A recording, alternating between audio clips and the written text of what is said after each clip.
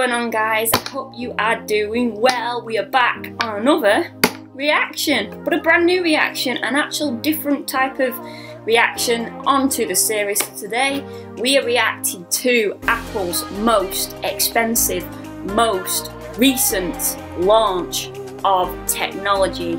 Yes, we are reacting today to the new 2018 MacBook Pro release. Specifications, it's apparently got a faster processor, a new keyboard and more. So without further ado, before we get into this, smash that like button and let me know what your favourite Apple products are in the comments. And I will let you know my favourite product of Apple is the iPad mini 4.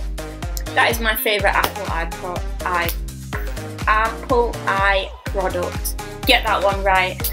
and if you are new here, subscribe because that would mean a hell of a lot to me. Let's get growing on this journey. So, without further ado, let's react.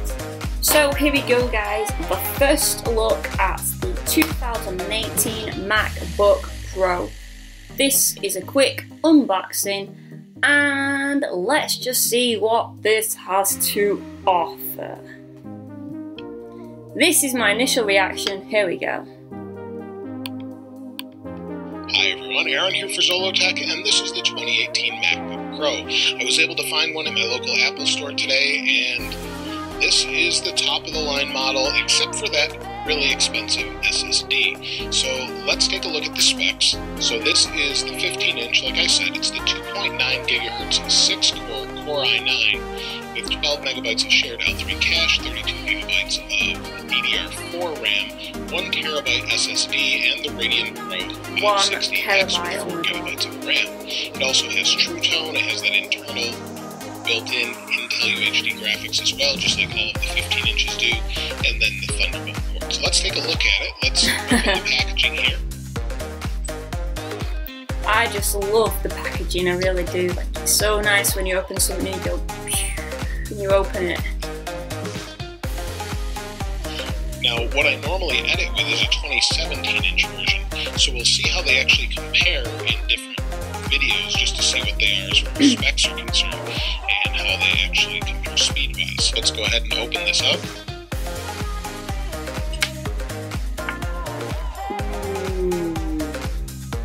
That aside.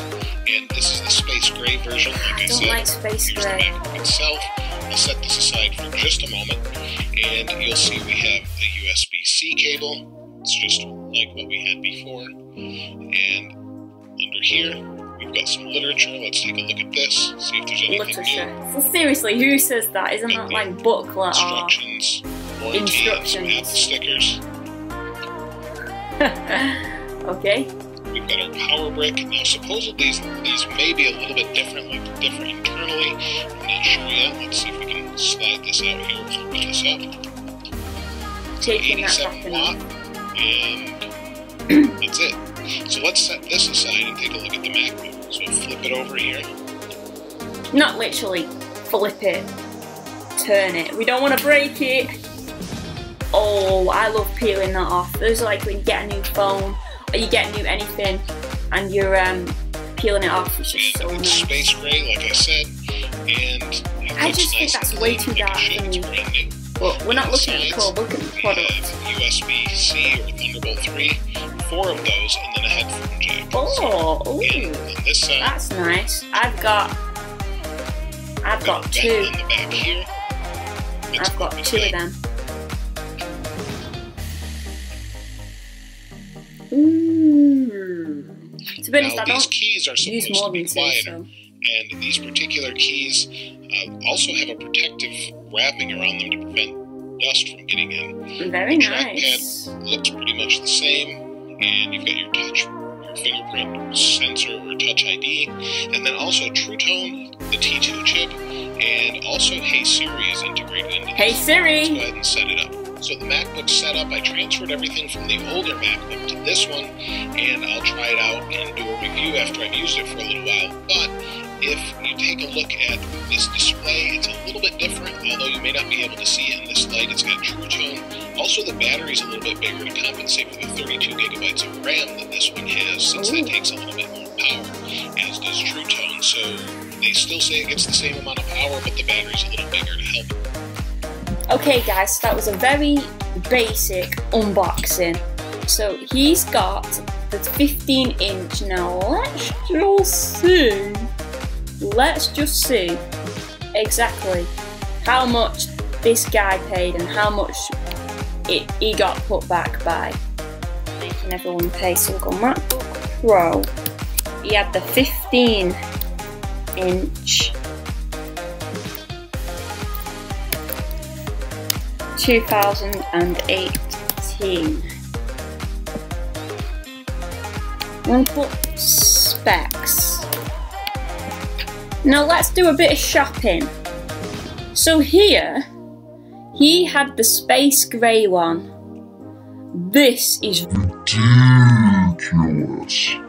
He's just gone and paid 16 he had 32 RAM so he's just gone and paid Apple a nice grand total. So here we go. He has the 15 inch MacBook Pro 2008. You could literally die at that price, I swear. So he has just paid anything between 2,349, well that's silver, space grey is dearer for some reason, which I don't think space grey is that nice, but he's just paid around £2,699 for the space grey 32GB RAM. 15.4 inch diagonally LED backlight display Wow. So it's 2.2, 2.6 gigahertz he's got. Um, storage 512 gigabyte. He's got the 32 gig convertible to 32 memory, so he's got that one.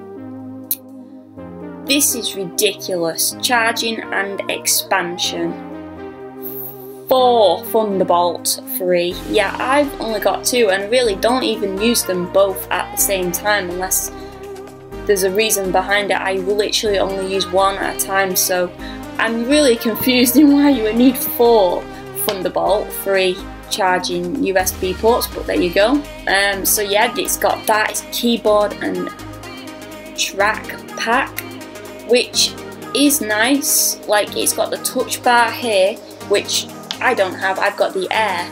But I don't care. Oh, I'm a poet and don't know it. I was not paying the pro price for something that I'll probably never use or never want to get used to using being a touch, what is it, touch screen. And I really don't want to do that like, uh, I'm fine with all the other devices being touch screen, but I think literally a laptop or a MacBook or a computer is just OTT on it being touchscreen and it might even be the way technology is going and progressing but it's not for me. Like right now anyways I just I'm fine with what I'm using. So up to 10 hours wireless web which is pretty good. 30 days of standby time. Okay. So it's a pretty powerful battery he's got operating requirements. Um, um, um, so that's okay. Size, so its height 1.55 centimeters, which is not even an inch. Width is 13.75 inches. Depth is 9.48 inches, and weight it only weighs less than two kilograms, so that is light. Um, and built-in apps where they're standard, I've got all them. Think everyone would have all them. Wow. I, I can't, I, I 100% cannot justify, especially for a laptop, which they're calling it a MacBook. I cannot justify for a MacBook paying that much. What the difference is between two inches is really not, it's not worth it because the screen, it's just like you can see the screen on whether you go for the 13 inch or whether you go for the 15 inch. Like it's, I say you went for an 11 inch screen, which I think they do, but in an older version, that I can understand why, you know, it'd be a little bit silly to go that small, but 13 inches on a nice MacBook Air or MacBook Pro screen is just perfectly fine. Like, I would not even bother clicking on 15. Let's see how much the 13 one is. So, there we go. So basically, the price ranges from 1,249 to 1,949 now. I think anything in this region is reasonable. But when you're clicking on something like just for the extra two inches there and maybe a little bit more features that you might not even necessarily need. And then click back on that one. And they're the features on the 13 inch. Like, is it is it 100% necessary? In my opinion, I, don't think it is necessary at all. I, I really don't. Personally, I would probably, if I were to get, not that I am at all, but in my honest opinion, I'd personally go for the second one up because with that you get your 250 gig, you get your configurable to up to a terabyte from the 512 gig, which is absolutely amazing. But like you said, um, I saw someone else say that you still, and it's configurable up to 16 gigabyte of memory. These ones, um, 15 inch is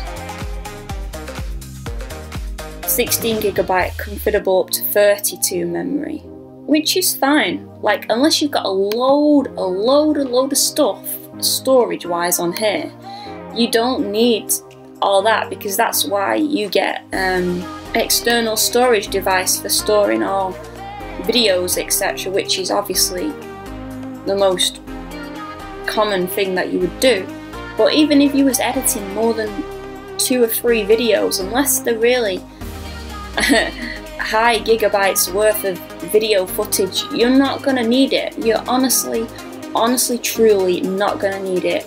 Depending on what it is you're actually filming, obviously, but I don't, I just think it's a bit OTT, I honestly do. Um, that, that is my personal opinion. But if you want to let me know what your personal opinion is, let, let me know in the comments. Um, because I would really like to know what your perspective on this.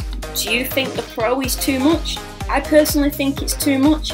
I mean, I could have a little massive rant about technology, but I think I'm going to leave that for another day. I, I, I, probably will start a new series on Sam rants or something like that, or Sam's opinion or something like that. Yeah, probably probably Sam rants, something along those lines. If you want me to do that about technology in general, oh my god, you're gonna be in for a treat. So smash that like button. And like I said, let me know what you think. Which one would you go for? Which one do you think is better? And of course, if you are new here and you've never seen my face before, you need to do subscribe if you are new. That would mean a hell of a lot to me, guys. And yet, this is my first look at the unboxing and review of the specifications. So, there we go. And I shall catch you later, alligator. In a while, crocodile. A new on the Sam's React series, uh, there we go, a brand new technology all unboxed and reviewed just for you guys. Let me know what you think to this in the comments and of course subscribe if you're new.